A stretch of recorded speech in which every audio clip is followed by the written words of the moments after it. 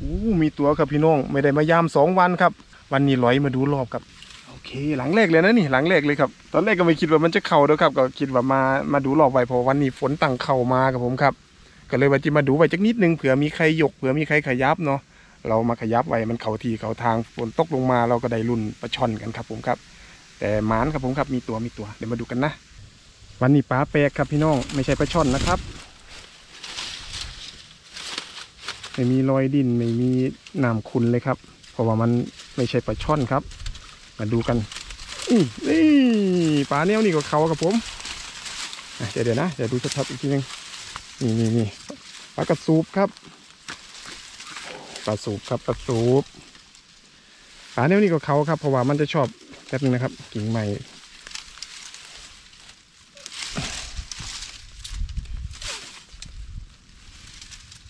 ปลาแนวนี้ก็เขาครับเพราะว่ามันจะชอบไล่กินลูกปลาริมฝั่งกับผม บางทีปลาซิวปลาอะไรมันลบเข้าไปในรอบมันก็พุ่งเขาตามครับผมครับปลาสูบครับผม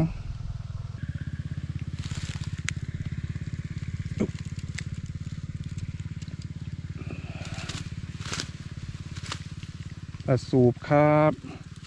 นานๆทีจะหลงมาครับ ถือว่าพิษคิวเหมือนกันนะเนี่ย แต่ก็ยอมได้เรื่อยๆครับ เพราะว่ามันจะชอบไหลหุบปลาหน่อยเอาเอาลงน้ำซะเอาลืมแทะมันมาครับตัวแรกครับ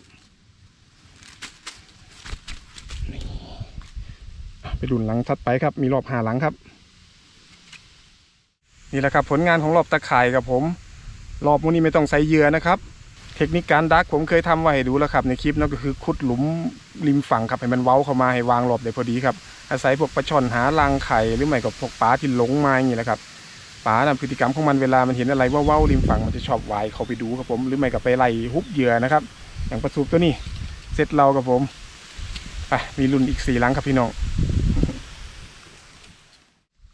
เห็นหลายท่านคอมเมนต์มาว่าใส่เหยื่อไหมอะไรเงี้ยครับผมก็นี่แหละครับถือโอกาสอธิบายเนาะ ว่าเราดักแบบไม่ต้องใส่เหยื่อครับเนี่ยนี่ริมน้ำขอบน้ำมันอยู่อย่างนี้ไม่ใช่ไหมครับ ผมก็คุดคุดเข้ามาเห็นพอดีก็รอบครับ แล้วก็วางรอบลงไป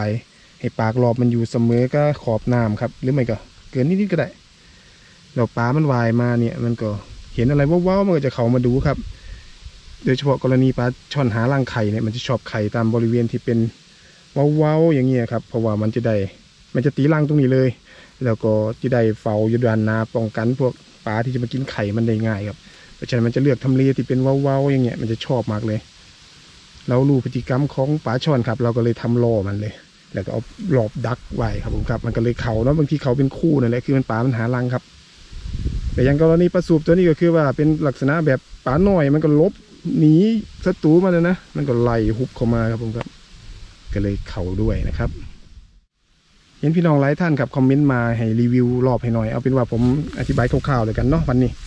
เอาคร่าวๆก่อนเนาะเดี๋ยวมีโอกาสจะค่อยรีวิวกันทำตั้งแต่เริ่มแรกให้ดูครับ แต่วันนี้พาดูก่อน เนี่ยตะข่ายผมเลือกใช้ประมาณสักเนี่ยรวมเขาเรียกอะไรสองนิ้วเนี่ยเนี่ยคือสองนิ้วยัดลงไปได้เนี่ยแต่ขนาดตะข่ายนี่เร็วแต่เล่าเลยครับ ผมก็เลือกเอาประมาณนี้เพราะว่าปลาช่อนเท่าดำมีดมันก็มันก็ติดนะ ออกไม่ได้ครับ ถ้าน้อยกว่านั้นก็ปล่อยให้มันหลอดออกไปนะครับ ที่นี่โครงของรอบเนี่ยก็เล็กวงกลมเล็กเล็กอะไรเขาเรียกว่าเล็กอะไรเนี่ยเดี๋ยวจะหาได้ครับเนี่ยเล็กลวดแบบเนี้ยที่ดัดได้ง่าย ๆ เป็นวงกลมสามวงนะครับหมัดติดกันให้เรียบร้อยเนาะแล้วก็มีไม้ไผ่น้อยๆอีกกี่ตัวดูดูหนึ่งสองสามสี่ห้าหกหกตัวครับ ความยาวก็ประมาณหนึ่งสอง สามสามคืบกว่าเออแล้วแต่เราเนี่ยความยาวนี่แล้วแต่เราเลยแต่ผมว่าสำนี่มันมันกำลังคุดดักง่ายเพราะว่าเราไม่ต้องคุด ไม่ต้องคุดเยอะนะถ้ามันยาวเราก็ต้องคุดยาวใช่ไหมมันก็เหนื่อยเปล่าๆครับผมโอเคเนี่ยคืบสองคืบสามคืบกว่านิดหนึ่งฮะรีวิวคร่าวนะพี่น้องเนาะด้านหลังก็หมัดเลยครับ หมัดเลย ส่วนด้านหน้าทำเป็นอย่างนี้ครับทำไมที่เห็นชัดนี่ ส่วนด้านนาเด้พี่น้องดูเอาเองเด้อบอกว่าถูกนี่นะก็ทำอย่างนี้แหละครับทำอย่างเงี้ยเนี่ยตรงนี้หมัดหมัดดึง ข้างบนก็หมัดดึง โดยที่ให้มันมันเป็นแบบนี้อ่าเดี๋ยวผมจะทำถาปลายิงเขาให้ดูปลาเขามามันก็จะนี่ใช่ไหมมันก็จะรวมๆนิดนึงผมทำให้มันรวมๆนิดนึงเด้ออย่าให้มันตึงเด้อหัวปลาบางทีเป็นตัวมันใหญ่นี่ มันมาตึงๆมันก็ถอยครับ แต่อันนี้มันจะนุ่มเลยเหมือนยาเหมือนอะไรไปเลยนะครับ เนี่ย เห็นไหมมันจะย่นย่อนๆครับ อย่าให้ตึงครับตรงนี้ อย่าให้ตึงมากกว่าเถอะไปโอเคนี่แค่นี้พอนี่นี่อ่านี่แหละเราก็ทำงาเดียวครับทำงาเดียวก็พอครับผมตั้งแต่ดักมากับพึ่งก็เคยรุดทีเดียวครับก็จะได้ไม่ต้องกลัวครับ ไม่รุดง่ายๆหรอกนะครับเอาละเดี๋ยววางไว้ เราลุ้นกันวันหลังอีกนะครับฝนตกมายิ่งได้ลุ้นครับไปชนหารังไข่ เวลาวางก็อย่างนี้นะครับไม่ยากเลย ตอนดักก็อย่าให้น้ำมันท่วมรอบครับผมกระท่วมหรือปลาช่อนมันจะตายครับนี่ให้มันประปะหลังรอบอย่างนี้แหละนะครับเดี๋ยวก็หาอะไรมาทุ่มทุ่มทุ่มทุ่มทุ่มนะครับเดี๋ยวผมแต่งรอบกันกิ่งไม้นะครับกิ่งไม้ตายเนี่ยโอเคเนาะ ประมาณนี้ครับเดี๋ยวเอายามาโปะอีกเดือดสักหน่อยก็ได้ทำเลในการวางรอบผมก็จะเลือกปลาลำพันธ์ครับ วางในปลาลำพันธ์ครับวางลงๆไม่ค่อยเขานะครับ เพราะว่าปลาเนี่ยมันจะชอบขึ้นมาหารังไข่ตรงจุดที่มีป่าลำพันธ์หรือพืชวัชพืชรกๆนะครับ แบบนี้ปลาช่อนไม่ไข่แล้วครับ แบบแบบนั้นก็ไม่ไข่ครับ เพราะฉะนั้นผมจะวางป่านี่นะครับมารุ่นกันหลังที่สองครับ น้ำก็ลดลงไปแล้ว นี่ครับพี่น้องรอยรังปลาช่อนเห็นไหมแต่ตอนนั้นฝนตกนักทีนึงแหละครับน้ำมันขึ้นมาถึงนี่ปลาช่อนมันก็มาตีรังไข่ตรงนี้ครับ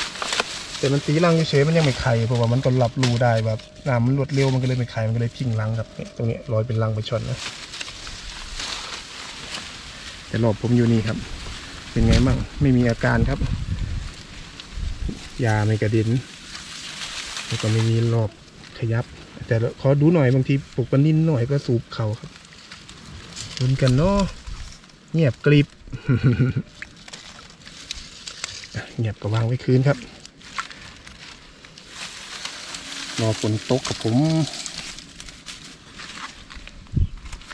เดี๋ยวให้รุ่นอีกสามหลังครับ รุ่นหลังนี้ครับ ก็ได้เรื่อยๆนะครับ หลังนี้แต่วันนี้ก็เหมือนไม่มีอาการใดๆ ขอยกดูสักหน่อยขอยกดูนิดนึง เดี๋ยวมีพวกปลานินปลาสูบไม่มีครับถ้าไปคืนครับ รอฝนตก เดี๋ยวขยับแป๊บนึงครับรุ่นลังนี้ครับลังที่สี่ลังนี้ก็ได้เลยย้อนเรื่อยๆนะ วันนี้เป็นไงมั่ง มีอาการอะไรไหมผมว่าไม่มีนะนิ่งเชียวฝนไม่ตกก็ยังว่าแหละครับตะช่อนไม่หารังโอกาสได้รุนกันน้อยเผื่อพวกปนินปลานั่นเขาดูนิดนึงในตานี่เห็นแล้วเด้อครับไม่อยากยกเยอะครับยักอยากไม่มีปลาครับโอเคดักไปขึ้นครับอู้ยฮักฮักแล้วรอผมผู้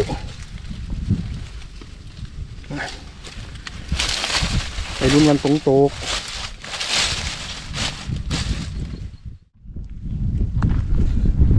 หลังสุดท้ายแล้วครับ หลังนี้ยังไม่เคยได้จักตัวเลยครับ เดี๋ยวผมจะย้ายแล้วแหละไม่ไหวละตั้งแต่ปลาไม่ขึ้นเลยตรงนี้ปลาลำพันธ์มันน้อยโพดครับปลาไม่กล้าขึ้นตาฝาดหรือเปล่าโอ้ยตาฝาดไม่ดีครับเดี๋ยวพรุ่งนี้ผมมาย้ายย้ายจริงๆแล้วทีนี้นะพี่ น้องเสียงฝากคำรามแล้วแต่ฝนตกนี่มีรุ่นแน่นอนครับ ขยันมายามก็พอได้กินครับพี่น้องนี่ก็ต้มมะป่าอร่อยนะครับขันจะลาบกับตัวหน่อยโพดเนาะสงสัยจะได้ต้มมะป่าอะไรครับพี่น้องตัวสำนี้แต่ชอบคลิปนี้ก็ฝากกดไลค์กดแชร์กดติดตามผ่านผลไว้ด้วยนะครับผ่านผลถ่ายคลิปสั้นเลยนะ ไปดูได้ในคลิปสั้นเลยนะครับในคลิปรีวิวคลิป short แล้วก็ TikTok นะครับ คลิปนี้ขอลาไปก่อนแล้วครับเดี๋ยวเจอกันคลิปหน้าแล้วก็ เดี๋ยววันไหนฝนตก ผมจะพามารุ่นอีกทีหนึ่งนะในรุ่นปลาช่อนใหญ่ๆเขาคูนะครับ ในวันฝนตก วันนี้ยัง